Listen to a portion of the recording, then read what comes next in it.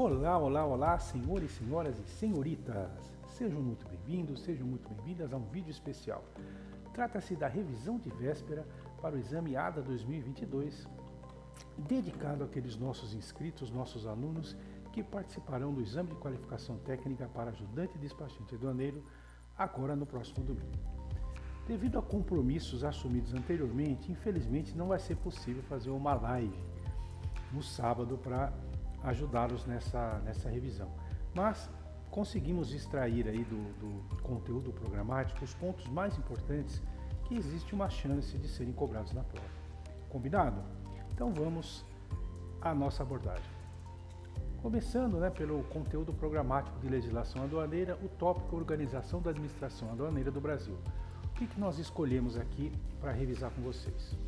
A questão da jurisdição, território aduaneiro, zona primária e zona secundária. Então vocês precisam ter em mente que o território aduaneiro no Brasil é dividido em duas zonas, a zona primária e a zona secundária. Na zona primária, ela compreende o quê? Área terrestre ou aquática, contínua ou descontínua nos portos alfandegados. E a área terrestre dos aeroportos alfandegados e nos pontos de fronteira alfandegados. Já a zona secundária compreende o restante do território nacional, incluindo o espaço aéreo e as águas territoriais. Beleza? É, no item 2, tributação das operações de comércio exterior. Importantíssimo a questão do imposto de importação, da sua incidência, fato gerador, base de cálculo e alíquota.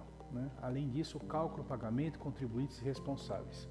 Se vocês analisarem as provas anteriores que foram elaboradas, uma boa parcela de questões estava focada ou em imposto de importação ou no despacho de importação. Portanto, vocês precisam lembrar o quê? Registro da DI é o momento de incidência do imposto de importação ou, para efeitos práticos, o fato gerador. O fato gerador, do ponto de vista jurídico, é a entrada da mercadoria no território aduaneiro, mas, do ponto de vista prático, né, que cai na prova, é o momento do registro da DI. A base de cálculo do imposto de importação é o valor aduaneiro, que é, é aquele valor é, que, se, que é aplicável quando nós temos uma alíquota em porcentagem e obedece o acordo de valoração aduaneira. Né? A sua determinação tem que seguir as regras do acordo de valoração aduaneira. E no caso de alíquota específica, é a quantidade da mercadoria. Exemplo de alíquota específica: litros de leite, quilos de pão, portanto, sei lá, é, um real a cada litro de leite importado seria o um exemplo de é, alíquota específica para o imposto de importação. Beleza? A maioria esmagadora, se não me engano, acho que 100% atualmente é, é, em termos de porcentagem, tá? Mas vocês precisam saber que existe alíquota específica, que isso é cobrado em prova.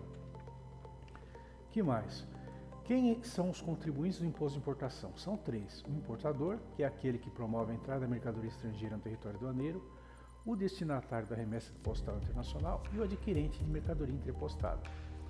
Já o responsável do imposto de importação é, o transportador, quando transportar mercadoria proveniente do exterior ou sob controle aduaneiro, o depositário, que seria qualquer pessoa incumbida da custódia da mercadoria sob controle aduaneiro, e qualquer pessoa que a lei designar. Temos ainda uma figura importante que é o quê? Que é a do responsável solidário do imposto de importação. Quem, quem pode ser responsável solidário do imposto de importação?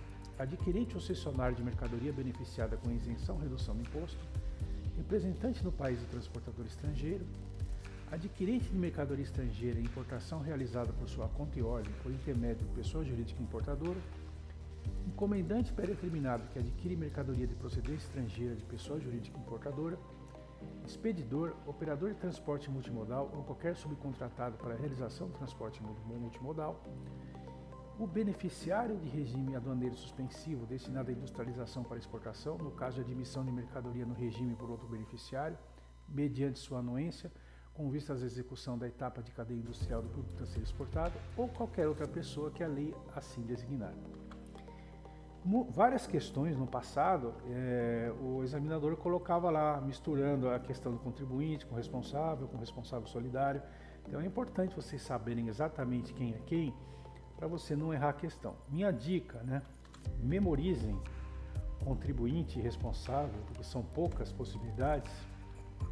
E aí, quando aparecer uma coisa diferente, você já fica com a, mesmo que você não lembre, você já fica com a, é, a tranquilidade de que aquilo deve ser o responsável solidário.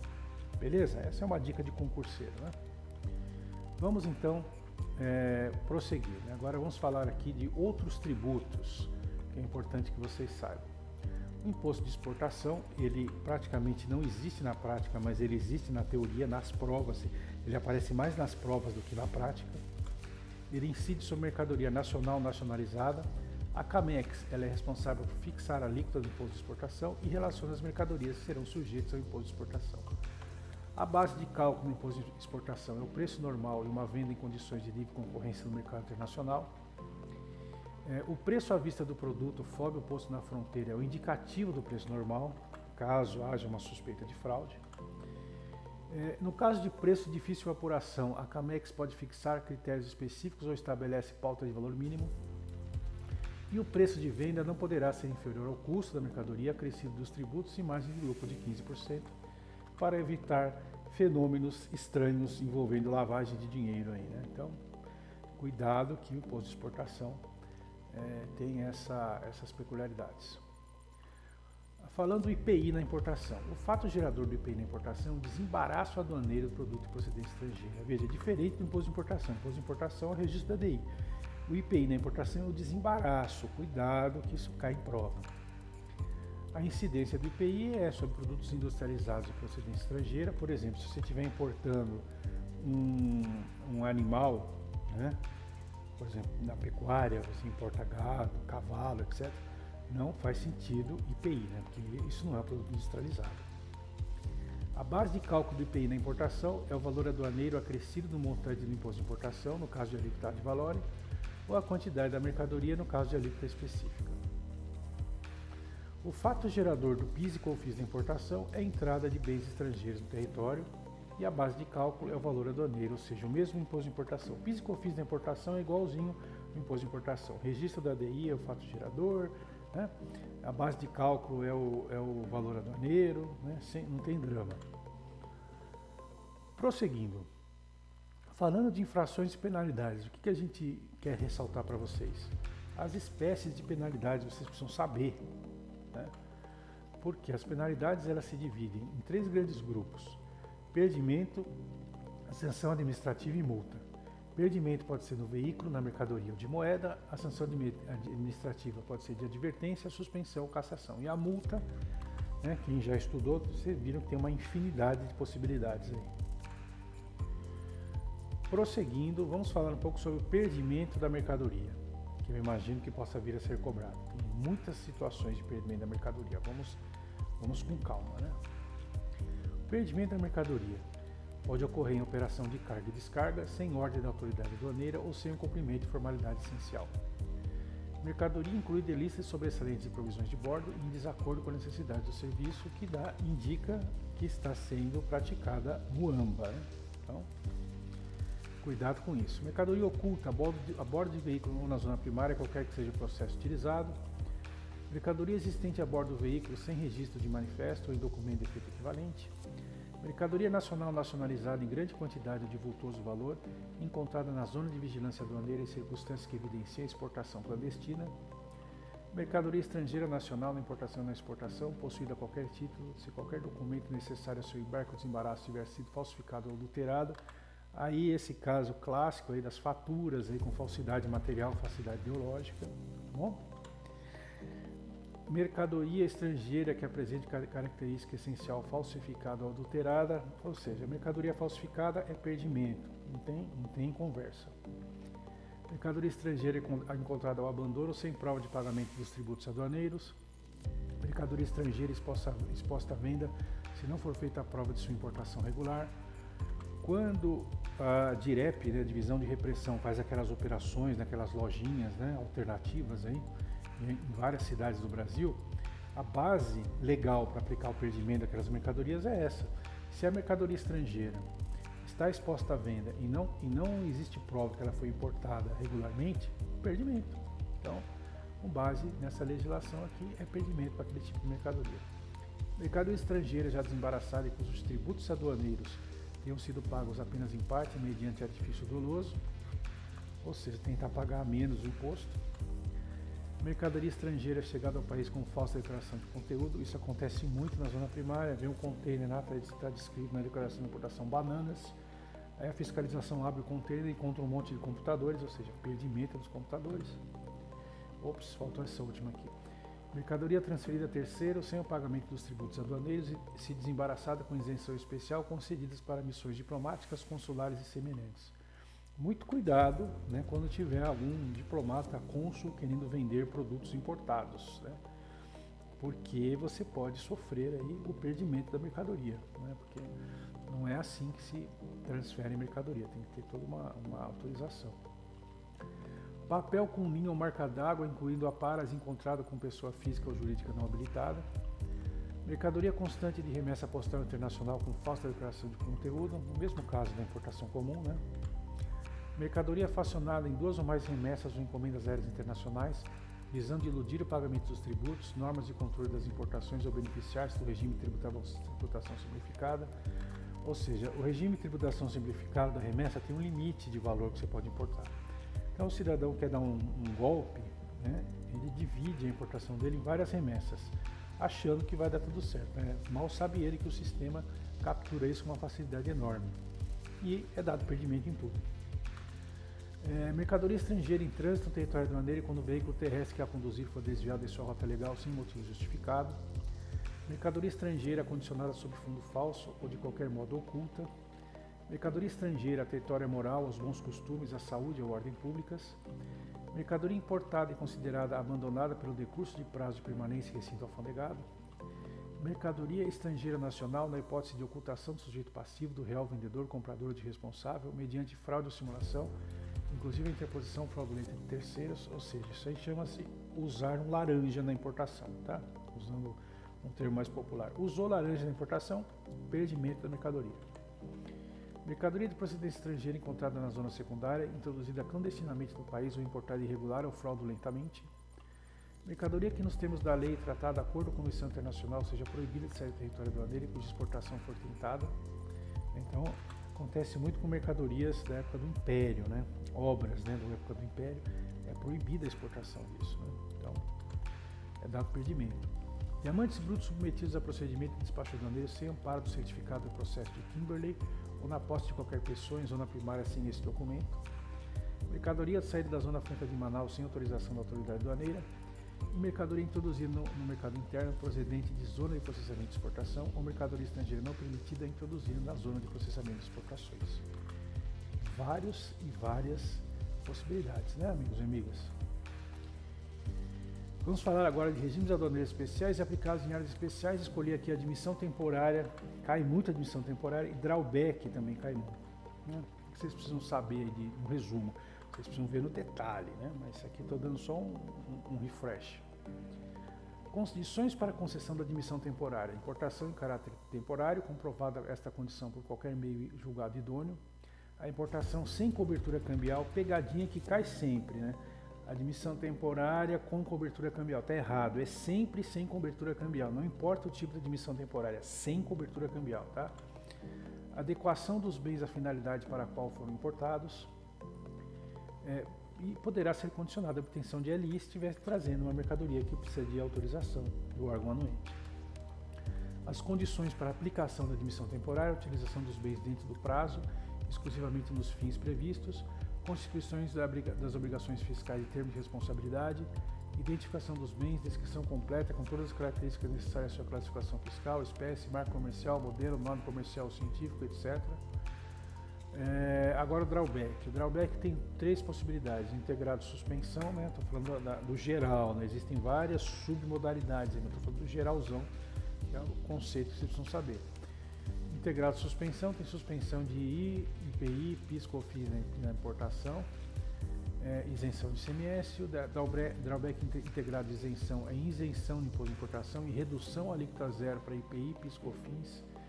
É, e o drawback é restituição, você tem restituição dos, dos tributos é, da importação. Ok? Que mais, amigos e amigas? Falando aqui desses, é, vamos falar aqui das penalidades aplicadas aos profissionais aduaneiros. Né? Cai muito questões aí sobre penalidades. Vamos ver.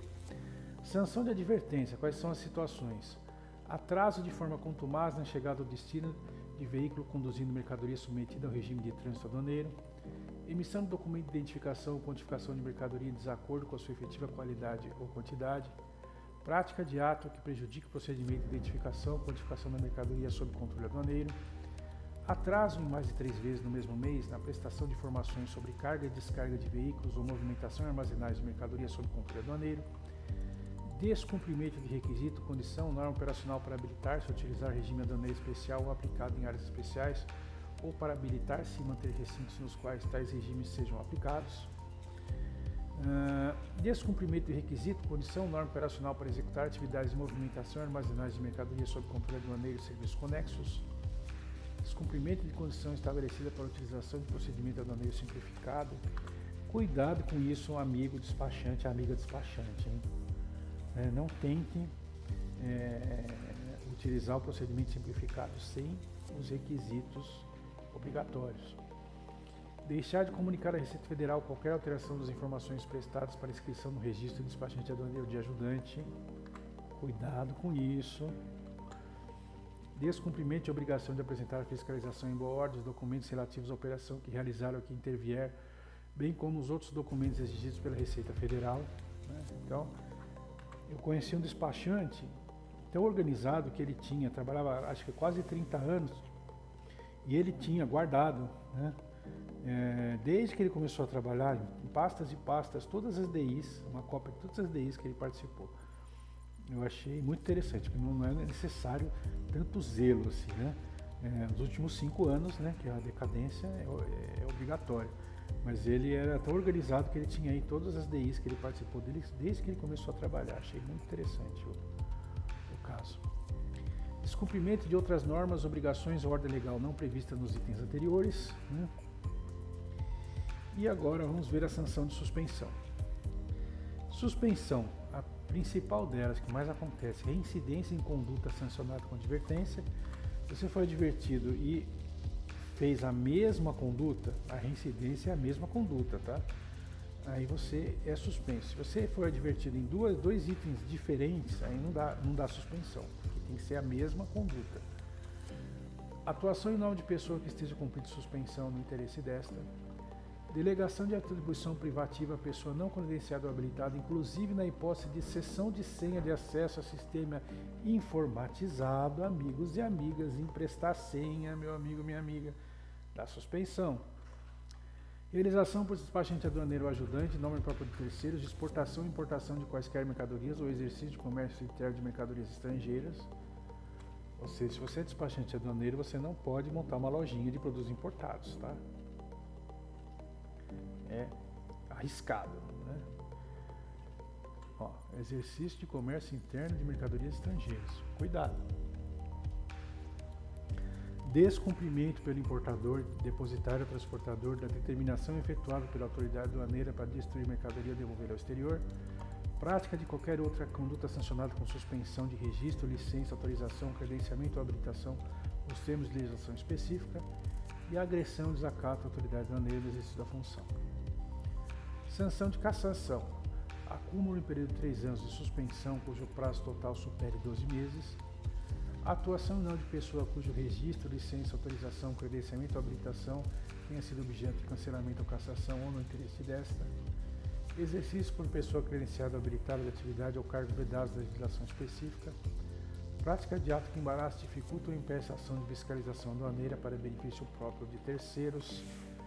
Vejam só, embaraço a fiscalização, amigos e amigas, da cassação, hein? Cuidado, muito cuidado com isso. Sentença condenatória transitada e julgada por participação direta ou indireta na prática de crime contra a administração pública ou contra a ordem tributária. Sentença condenatória transitada e julgada a pena privativa de liberdade. Descumprimento das obrigações eleitorais. Se ah, não vou votar, não vou justificar, deixa por isso mesmo. Olha lá, cuidado. Ação ou omissão dolosa tendente a subtrair o controle aduaneiro, dele ocultar importação e exportação de bens ou de mercadorias prática de qualquer outra conduta sancionada com cancelamento, cassação de registro, licença, autorização, credenciamento ou habilitação no termos de legislação específica. Beleza? Então essas sanções aí costumam ser cobradas em prova. Agora vamos falar do que, amigos e amigas? LIs, licença de importação, tema importante e recorrente. Vamos lá. O licenciamento de importação tem três situações. O primeiro que todo mundo prefere, que é a dispensa de LI, que é a regra geral. Segundo, a licença de importação automática, ela é concedida em até 10 dias úteis. Terceiro, a licença não automática, que ela é concedida em até 60 dias corridos. Bom, o licenciamento automático são, é dos produtos relacionados ao tratamento administrativo, né? Você vai lá na, quando você tem um sisteminha aí de, de NCM, normalmente tem uma aba lá, tratamento administrativo, diz se o item precisa ou não de LI. Importações no regime de drawback, você vai ter que ter licenciamento automático. O prazo de 10 dias úteis, né?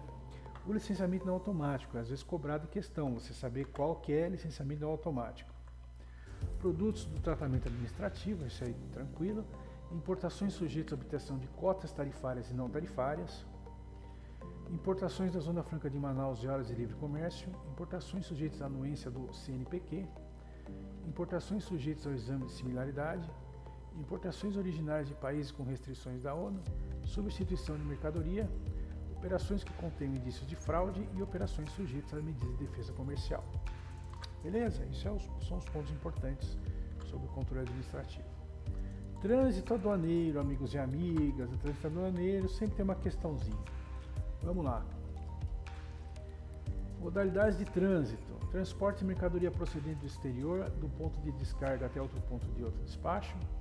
Transporte de mercadoria nacional despachado para exportação, para embarque ou armazenamento em área alfandegada transporte de mercadoria estrangeira despachada para reexportação para embarque ou armazenamento em área alfandegada, transporte de mercadoria estrangeira de um recinto alfandegado situado na zona secundária para outro, trânsito de passagem de mercadoria procedente do exterior e destinada, exemplo, é, materiais de uso e reposição para veículos estrangeiros estacionados de passagem, transporte de bagagem acompanhada de viajante em trânsito, transporte de peças, partes necessárias aos serviços de manutenção em embarcações em viagem internacional.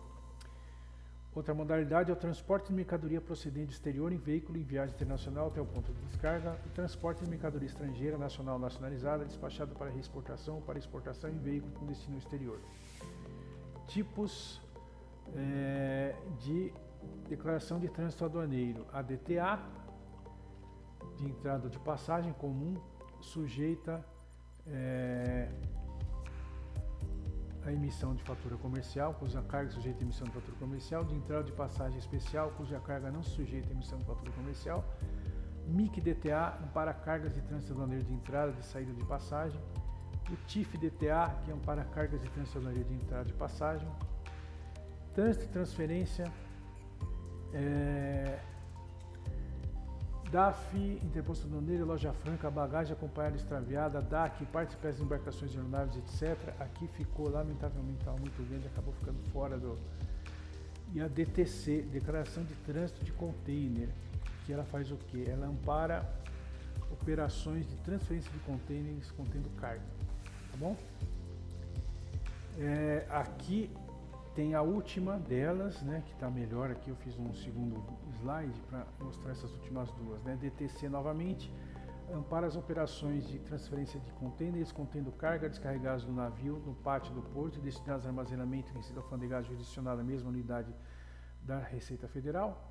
E a DTI, que ampara cargas que sofrerão transbordo ou baldeação em zona primária para outra aeronave que sairá do país. Uh, falando aí dos sistemas de controle de carga, aí o mantra né, é provável que seja cobrado, que o mantra é provável que seja cobrado e vocês têm que dar uma lidinha na Instrução Normativa 102 de 1994. Falando sobre o despacho aduaneiro de importação, amigos e amigas, tudo isso aqui a 680, Instrução Normativa que eu brinco, né, que ela é fundamental para a vida longa no comércio exterior. E atendendo a, a, vários pedidos, eu fiz uma série de 17 vídeos sobre a Instrução Normativa 680 esquematizada para concurso. Então, dê uma olhadinha nos vídeos aí para o que é batata que vai cair uma ou duas é, questões de despacho de importação na prova. Prosseguindo aqui, uma coisa que eu acho interessante no despacho de importação é a DSI, É batata também, caiu uma questãozinha perguntando quais mercadorias ou quais situações permitem usar DSI. E você tem a DSI eletrônica no Syscomex. Quais seriam os casos de utilização? Bens importados por pessoa física, cujo valor não ultrapasse 3 mil dólares. Também a mesma coisa para pessoa jurídica. Bens recebidos a título de doação de governo ou organismo estrangeiro, submetidos a regime de admissão temporária, reimportados no mesmo estado após conserto, reparo ou restauração no exterior. Mercadoria não considerada estrangeira, por exemplo, é, retorno em consignação, retorno por defeito, é, por mudança nos critérios de importação do país estrangeiro ou no caso de guerra ou calamidade pública. Remessa postal internacional que não passe 3 mil dólares, encomenda internacional que também não ultrapasse 3 mil dólares, bagagem desacompanhada, uh, importados para utilização na Zona Franca de Manaus, bens industrializados na Zona Franca de Manaus submetidos a despacho de internação até o limite de 3 mil dólares, importados para utilização na Zona Franca ou nela industrializados submetidos a despacho de internação por pessoa física, importados com isenção pelo CNPq ou cientistas pesquisadores até o limite de 10 mil dólares. A DSI formulário, quais são os casos de importação, de utilização, perdão, utilização. DSI formulário, DSI em papel, ainda existe, infelizmente, ainda existe DSI em papel. Amostra sem valor comercial, livros, jornais, periódicos, documentos, folhetos, catálogos e publicações semelhantes importados sem finalidade comercial, bens exportados por pessoa física com valor superior não, é, não superior a 500 dólares, bens importados ou industrializados na Zona Franca cujo, não, cujo valor não ultrapasse 500 dólares, bens importados por missão diplomática, repartição consular de carreira e organismo internacional, órgãos e tecidos humanos para transplante, animais de vida doméstica sem cobertura cambial, sem finalidade comercial, importações de DSI eletrônica quando não for possível acesso ao Ciscomex por mais de 4 horas consecutivas. Pode acontecer né, de você uh, romperem o cabo de fibra ótica ali perto da alfândega, a, a internet por, por rádio não funcionar e ficar tudo fora do ar. É raro, mas pode acontecer. Aí nessa situação tem essa contingência, né? os, os despachos eletrônicos podem ser feitos em papel. Doações de governo ou organismo estrangeiro para órgão ou entidade integrante da administração pública direta, autárquica ou fundacional bens exportados por órgão da administração pública direta, autárquica ou fundacional até limite de 500 dólares, medicamentos sob prescrição médica importados por pessoa física, bens trazidos por equipe esportiva estrangeira ou era destinados para seu uso ou consumo, bens trazidos por grupo, grupo artístico estrangeiro ou era destinados para seu uso e consumo, equipamentos de rádio, televisão e imprensa em geral no regime de admissão temporária e, por fim, bens retornando ao país cujo despacho aduaneiro de exportação tenha sido realizado por meio de declaração simplificada de exportação. Beleza, que mais, amigos e amigas? Vamos falar sobre os requisitos da fatura comercial. Esse é um tópico também que pode ser cobrado. O que, tem que ter na fatura comercial? Aqui, ó. Todos os itens que tem que constar obrigatoriamente da fatura comercial. Nome e endereço completo do exportador.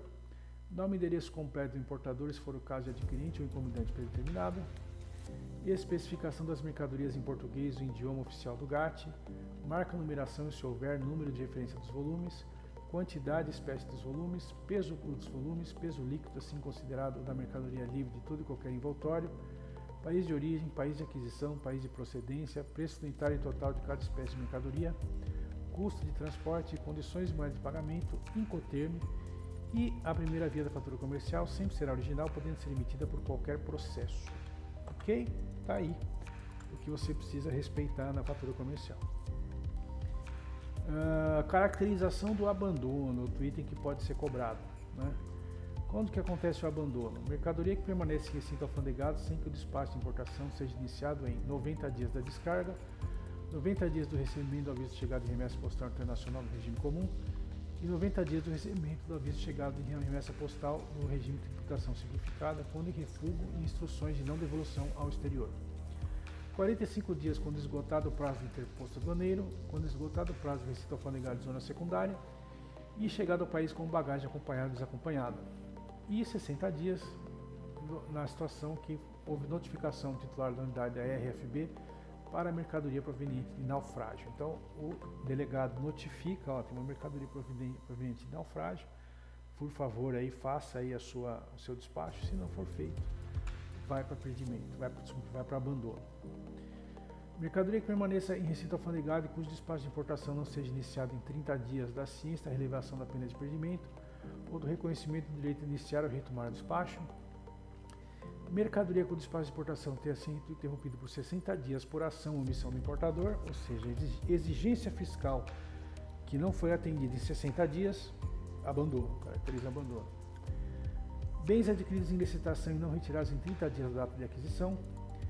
Ingressados no ensino alfandegado no regime de tributação unificada é aquele que, que, que tem facilidades para importação de mercadorias do Paraguai, tá? o RTU. Decorrido o prazo de 30 dias de permanência sem indício de despacho aduaneiro e interrupção do despacho por ação ou omissão do habilitado. E abandono da admissão temporária se não houver pagamento da multa exigida no prazo de 30 dias de interrupção do curso do despacho de reexportação. Beleza? Podem ter questões sobre abandono na prova. Despacho aduaneiro de exportação via DUI, amigos e amigas. Qual que é o desafio desse caso? Não temos questões passadas sobre DUI, porque a DUI, ela até temos algumas questões do ADA 2018, né, mas era muito recente a DUI, ela foi lançada em 2017. Então nós temos uma base de dados de questões é, não muito amplas. Então a minha sugestão mesmo é você dar uma, dar uma lida nessa normativa. É importante. Porque eu tenho a impressão de que vai cair DUI. Né? Impressão, tenho quase certeza que vai cair DUI. Vamos aí para a identificação merciológica. Né? Um item importantíssimo são o quê? São as regras de origem. E todos esses, essas, esses conceitos aqui estão tá no manual ABC Regras de Origem do Ministério da Economia. Se você digitar no Google ABC das regras de origem, vai aparecer o link para baixar o manual PDF. Né? Muito interessante. Se alguém tiver alguma dificuldade de não encontrar o manual, mande uma mensagem, deixa um comentário aí que eu disponibilizo o link ou deixe o e-mail que eu mando por e-mail, tá bom? Esse manual é muito bom. É, falando sobre NCM agora, né, a questão de classificação fiscal e as regras gerais complementares, né? Porque as regras gerais do sistema harmonizado são seis regras, o despachante ele tem que saber, né? Se não souber as regras gerais de classificação fiscal, está complicado. Vou falar das regras complementares, que elas são mais enroladinhas, né? Então, o NCM tem oito dígitos, sendo que os seis primeiros são do sistema harmonizado, né? do X até o Y aqui. O Z1 é o desdobramento de item, que é o sétimo dígito, e o Z2 é o desdobramento de subitem, que é o oitavo dígito, tá bom? A regra geral complementar número 1 do Mercosul diz que a, a classificação fiscal dos dígitos né, da NCM, o sétimo e o oitavo, utilizam o sistema harmonizado. Né? Tudo, todo esse texto aqui é para dizer, ó, você classifica o sétimo e oitavo dígito usando as regras do SH. Tá bom? Essa é, é a regra 1, é tranquila. A regra geral complementar número 2 é o seguinte, sobre embalagem. Tem questão de classificação fiscal de embalagem. No caso da embalagem é o seguinte, é, a embalagem de utilização repetida, né? por exemplo, os tanques e cilindros, né? tanques de, de armazenamento aí de, de tubos de ensaio, os cilindros de, oxigênio ou de nitrogênio são os casos especiais, que são de utilização repetida.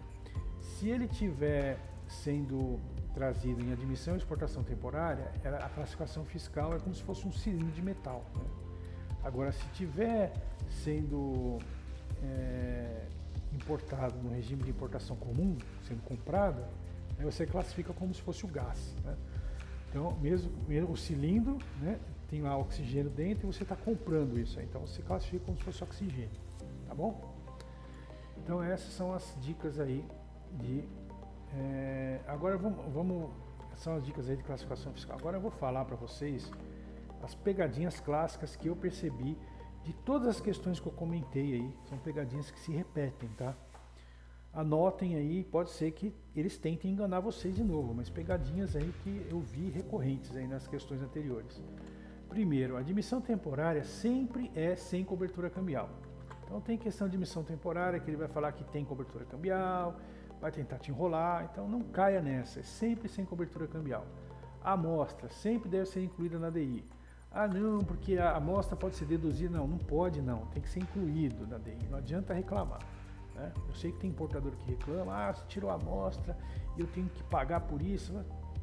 É o que está na lei. Sinto muito. Todo item que entra no território nacional sofre despacho de importação.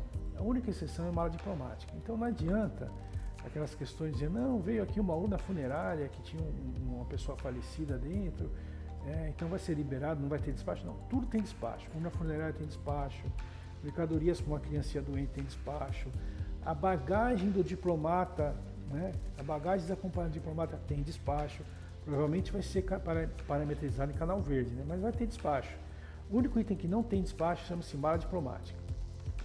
O container entra e sai do país mediante admissão temporária e exportação temporária que é aplicada automaticamente. Tá? Então, o container tem despacho sim, só que ele é um despacho automático de admissão temporária e exportação temporária. Outra coisa, trânsito aduaneiro não é despacho de importação. Cuidado com pegadinhas, né? Entenda o trânsito aduaneiro como transporte de mercadoria estrangeira dentro do território nacional como suspensão de tributos. Pegadinha muito sem vergonha que tem gente que cai. Conferência documental da exportação é feita no canal laranja, não no canal amarelo. Tem muita pegadinha, ah, porque na exportação, canal amarelo. Aí o cara, ah, tá certo. O canal amarelo é na importação, na exportação é canal laranja. Cuidado, é uma pegadinha cruel que muita gente cai. Que mais? Ah, boa. Fato gerador do imposto de importação é o registro da DI. Já no IPI na importação é o desembaraço aduaneiro. A base de cálculo do IPI na importação é o valor aduaneiro somado ao valor do imposto de importação. Questões que você tem que calcular o imposto. Cuidado com isso aí. Os gastos incorridos após o desembaraço, exemplo, montagem, garantias similares, não fazem parte do valor aduaneiro. Comissão de venda entra no valor aduaneiro, comissão de compra não. Royalties que devem ser pagos ao vendedor fazem parte do valor aduaneiro, tem que incluir. Drawback não é benefício fiscal, é incentivo à exportação. E a classificação fiscal de embalagens de repetido depende da modalidade de importação. Se for admissão temporária, a embalagem classifica em separado na posição do material de que é feito. Exemplo, cilindro de metal. Se for importação comum, classifica junto, junto com o item importado. Exemplo, oxigênio, gás oxigênio. Beleza, amigos e amigas? Então é isso. Eu espero que essa revisão seja de utilidade para vocês. Lembrando que, que isso aí é uma é, é, é, é, feito da base da tentativa e erro. Pode ser né, que na, na, na, prova tenham itens que não, não estejam aqui nessa lista. Né, mas um ou outro tenho quase certeza que vão aparecer. Beleza, meus amigos e minhas amigas? Se qualquer dúvida que vocês tiverem, aí mande seus comentários que a gente tenta responder o mais rápido possível. Combinado? Desejo para vocês um excelente exame, é, muito sucesso na vida, né, muito sucesso no trabalho e gostaria que vocês, né, os aprovados aí, mandassem um comentário dizendo professor, fui aprovado, vou ficar muito feliz com isso, tá bom? Grande abraço, sucesso e até o próximo vídeo. Valeu!